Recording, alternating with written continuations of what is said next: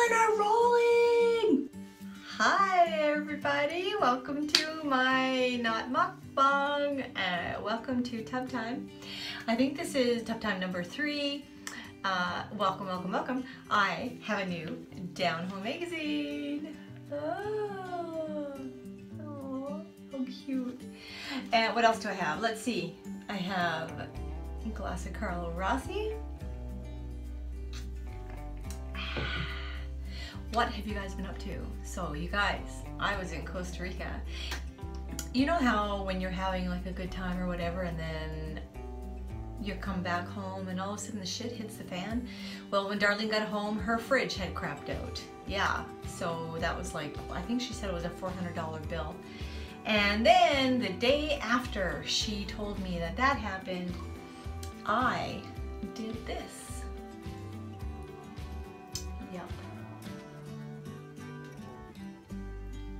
And you guys, this is a brand new iPhone 10X or something like that. Yeah, I just bought it. Just bought it before I went to Costa Rica. Mm -hmm. So I'm really glad I picked up the Care, iCare plan or something like that for insurance or something like that when I got my phone. Anyway, you guys, I had not even been home like two days. I didn't download any of my videos onto my computer so that I could do any editing or anything like that and then I ran over my damn phone. So it's been hell. I went to Bell and everything like that and they said, yeah, we'll try to fix your phone. And I'm like, you're gonna try to fix this? You're gonna try to fix this.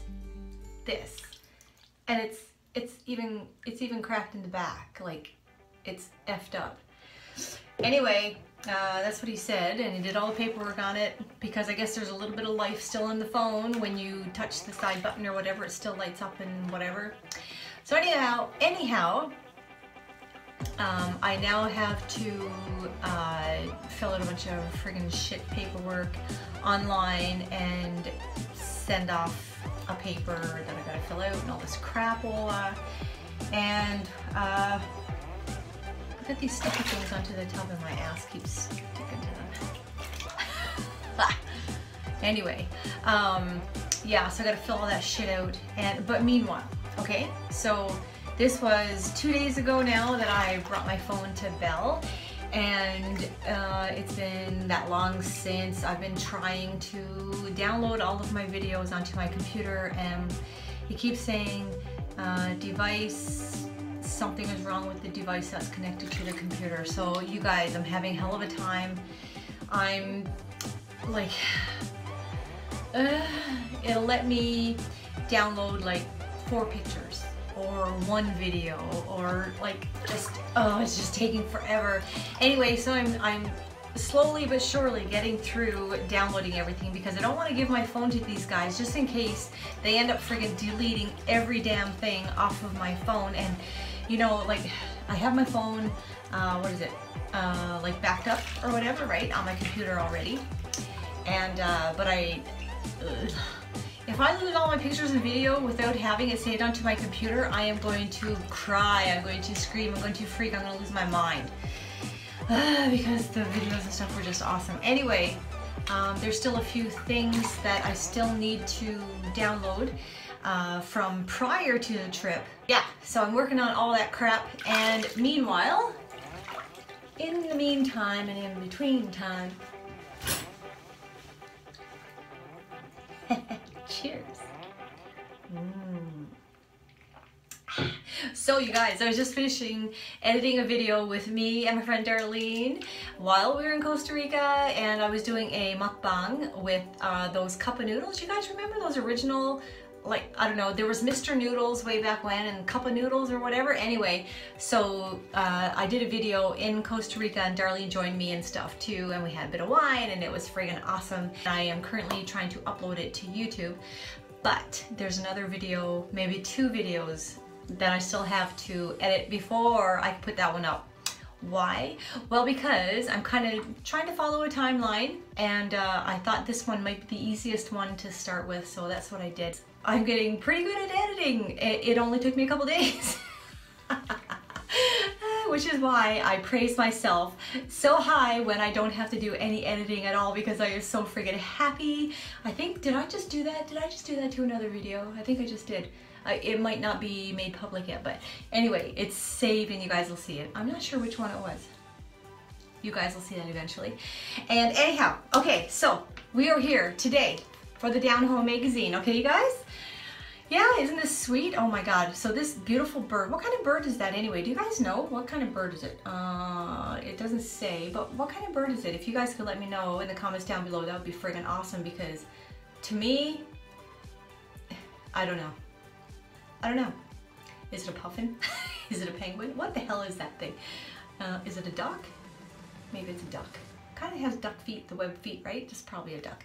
Okay, well anyways, let's get to checking out this magazine, shall we? Oh, and guess what?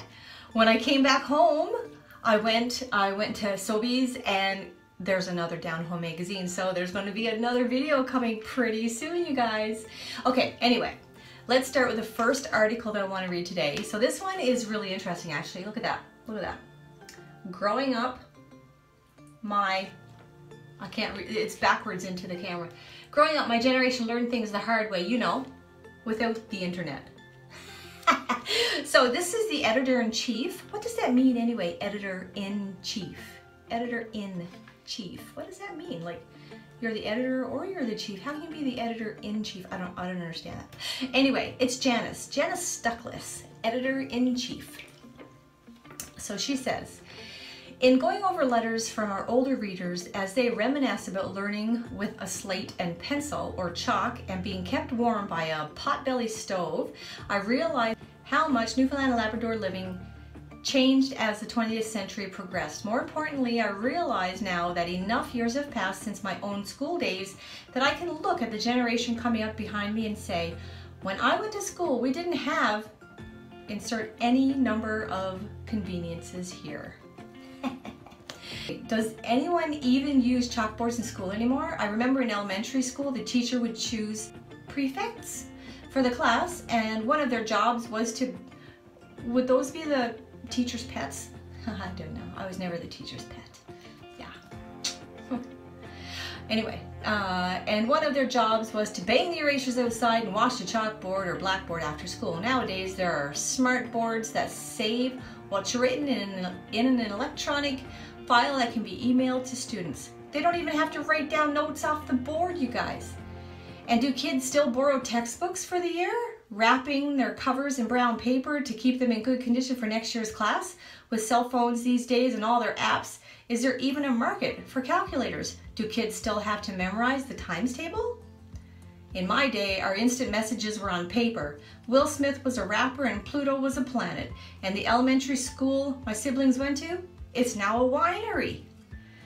What do you tell your kids and grandkids about your school days? Write to me about it. You won't be graded on it. School's out for us. Thanks for reading. Ha! You're welcome, Janice. By the way, Janice, I put up a picture of me with the Downhome magazine in Costa Rica. Maybe it'll show up inside of the book, huh? Someday. Maybe someday. Okay, let's see. What else can I read? Mmm.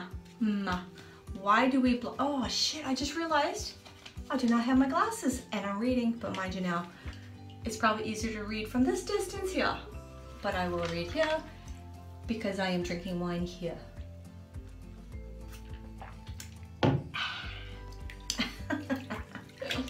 okay, why is that? Expert answers to common life questions. Why do we blush? Picture this. You're at the grocery store happily wheeling along in a daze, not really paying attention to what you're doing or where you're going when you accidentally plow your cart into a pyramid-shaped Pepsi display, sending bottles flying and suds erupting. All of a sudden your face turns redder than Nan's bottled beets as you look up and see all the other shoppers staring at you. Well, you guys, that just happened to me in Mexico. yes, they wanted to take my tripod. My tripod! Anyway, while your most embarrassing moment might be a little different, the result is likely the same. To blush is to be human. Even Charles Darwin called it the most peculiar and the most human of all expressions. But how does it happen and why? Blushing is triggered by various positive and negative emotions, for example, surprise, joy, guilt, embarrassment, shame. So perhaps being the unwanted center of attention is the underlying cause. Yes, that's true. Well, Dr. Drummond uh, from Perth, Australia says, when we experience such an emotion, our sympathetic nervous system kicks into high gear. Adrenaline is released, our heart rate spikes, the blood vessels in our face dilate, and blood flow increases, resulting in that telltale facial flush. Blushing spreads to the neck and upper chest in some people, but presumably is most intense in the face because of the dense supply of blood vessels close to the surface that contain beta adrener, adrenergic receptors which make the vessels dilate when stimulated by adrenaline. While no one knows for sure why blushing evolved, he says, as the psychological mechanism is similar to flushing in the heat and during exercise, presumably blushing cools the body down after an intense emotional experience. This might help to dissipate the emotion. Very good. It also acts as an emotional barometer of sorts, signaling to others that we feel shame or embarrassment, and that's not entirely a bad thing. A team of Dutch, Dutch researchers found that their subjects viewed more favor, favorably and were more likely to forgive another's embarrassing mishap if they should spot a blush, accepting them at face value, so to speak. It's an involuntary response and there's not much you can do about it. Though, if it affects your day to day, psychologists can help people manage the discomfort often associated with blushing and the thoughts that trigger it. Uh, okay. I don't want to keep reading that because there's just too many articles in here, you guys. Not to mention my tub. It's freaking hot today. Am I blushing? I feel that my chest is red. I'm sweating profusely. There's wetness. Do you see wetness? Yeah. Um, okay, so that's amazing. Wild news from around the world. Oh, that might help tame my hair. High-tech harp. If you happen to see a seal around Newfoundland and Labrador with a radio antenna sticking up from behind its head, don't worry, it's not a remote controlled robot. It's just one of 12 harp seals that DFO has tagged in a study to track the behavior of young seals, which includes recording their speed and how they react to climate change. Interesting. Next, the taste of music. Swiss researchers took nine wheels of Emmental cheese and subjected each one to either hip hop, Mozart, or classic rock to find out if it changed the cheese's flavor. According to their results, hip hop had the biggest impact on taste and smell. What? Are you freaking kidding me?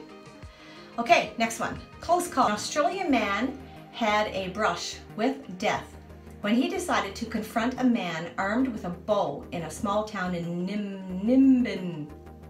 As the man tried to take a photo, excuse me, of the intruder with his cell phone, the armed man shot an arrow at him. Miraculously, the arrow pierced the man's cell phone, sparing him a deadly wound. Holy balls! Wicked man. Okay, can... I'm really hot right now.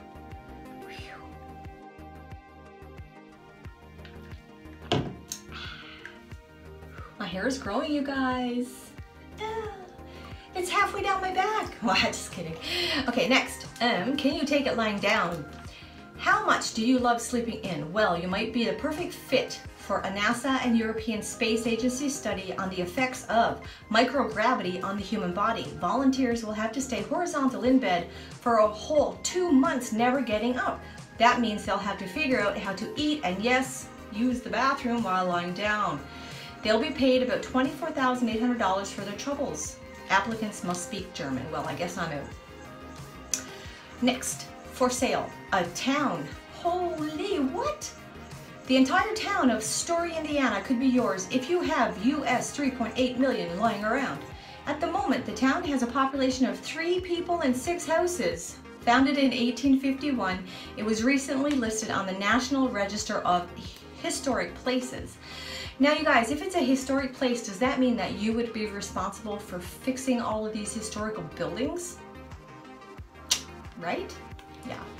Okay, uh, next, Morocco Run. A 251 kilometer marathon des Sables is a brute, des, Sables? is a brutal six-day run across the Sahara Desert in Morocco. Oh my God. Considered the toughest foot race in the world, it's a test of stamina in the grueling heat. In, in April this year, 16-year-old Jack Davidson from British Columbia became one of the youngest people to ever complete it. Holy cow, way to go, kid. Holy crap. Ooh, hubby's home. I think he um he picked up a roast chicken with potatoes and gravy.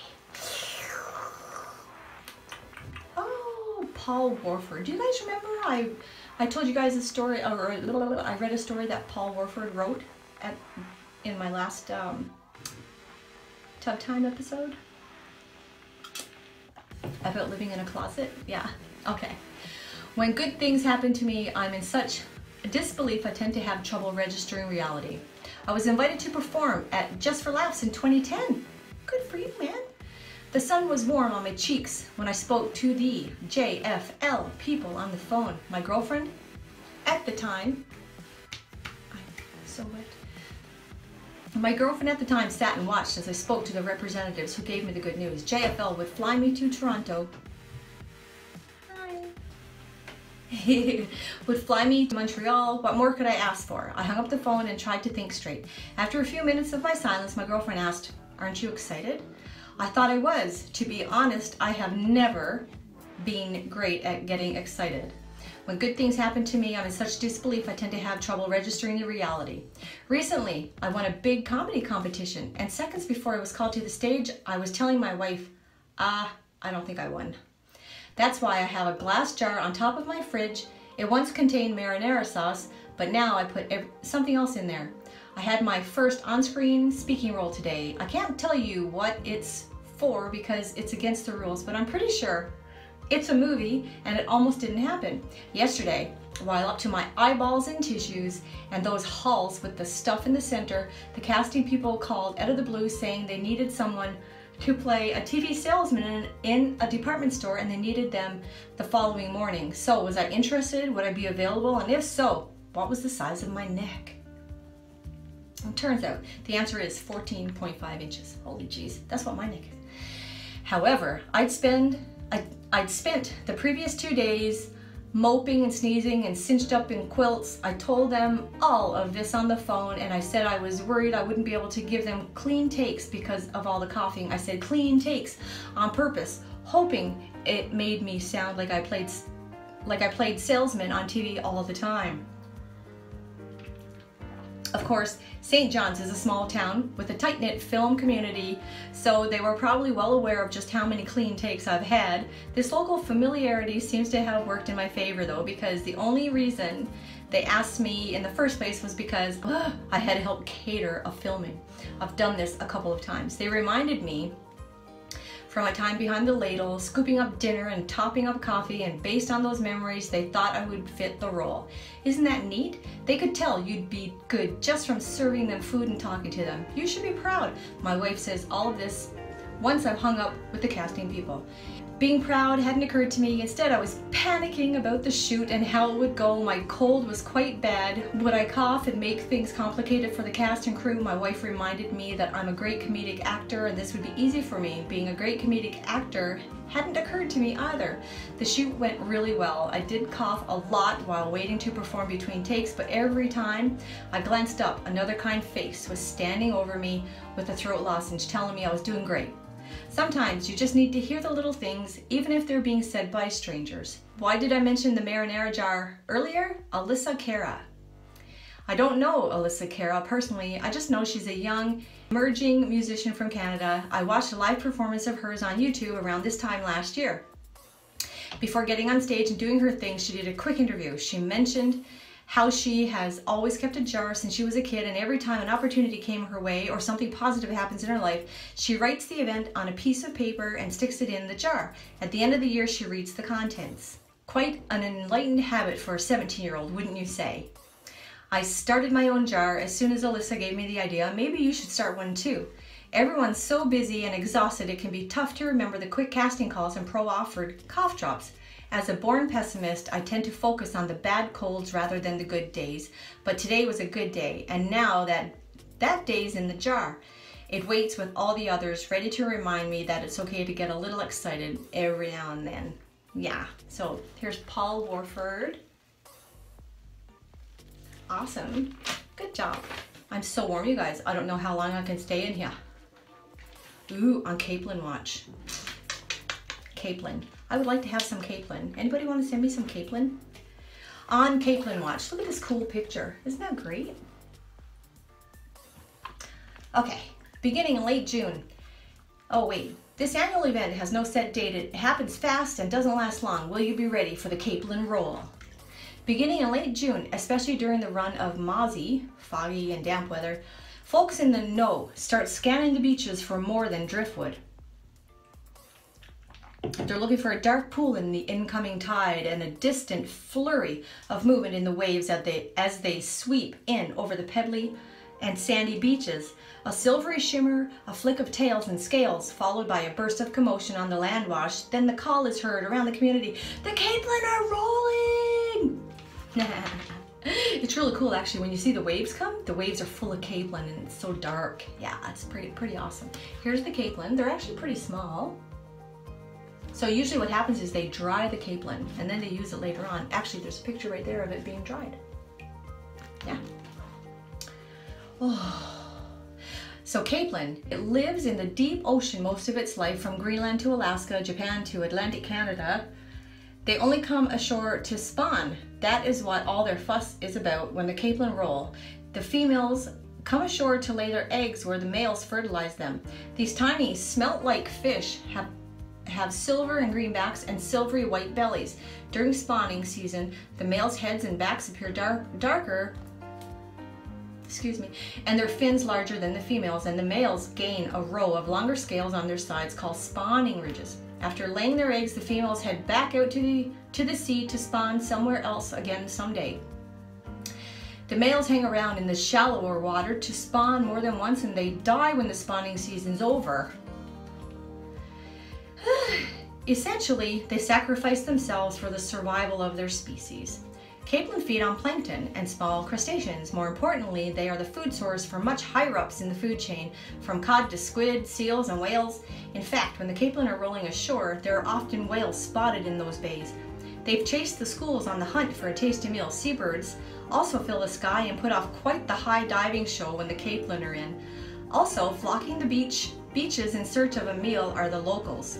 Whenever the capelin roll, doesn't matter if it's under a brilliant sun or a shimmering moon, the crowds come with their cat, cast nets, dip nets, and buckets. It's an all-age event, all ages event, and the delighted squeals and shouts could be from a toddler or a senior in hip rubbers or sandals, all equally excited to grasp the slippery, flapping fish by the dozens. Some freshly caught capelin will be cooked up over a fire right there on the beach.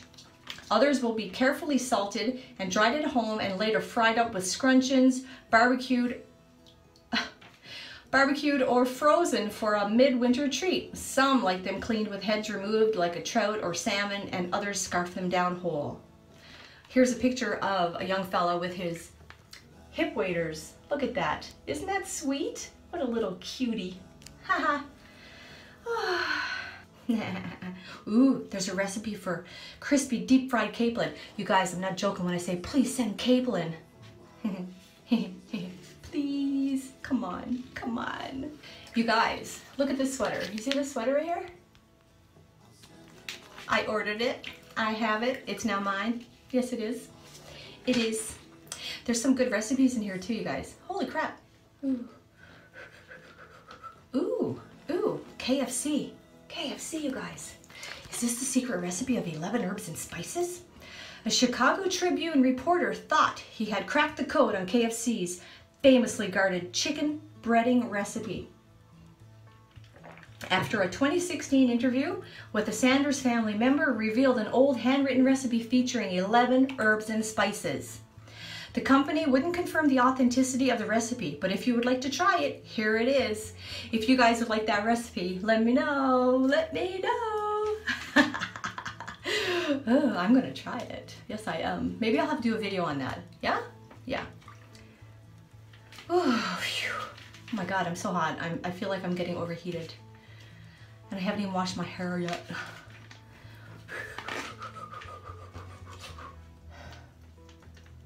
Did I already do everything? To, I did. You guys, that's it for today. Thank you so much for joining me. Me and my Downhome magazine, Tub Time. I think this is number three, you guys. Cheers. Thank you for watching. And by the way, I'm Lisa, Chef Wannabe. And um, if you guys are interested in seeing any more videos, I have all kinds of weird videos, including this one. Uh, please subscribe to my channel. If you don't have an account, please sign up for an account. It's free. All you need is an email and a password. But make sure that you sign up for YouTube so you can watch my videos, subscribe to my channel, hit that notification bell so you do get informed when I do post a new video. Please like, share, comment if you want. Good, bad, ugly, I don't care. Take care you guys and see you later. Be good. Bye. Ooh.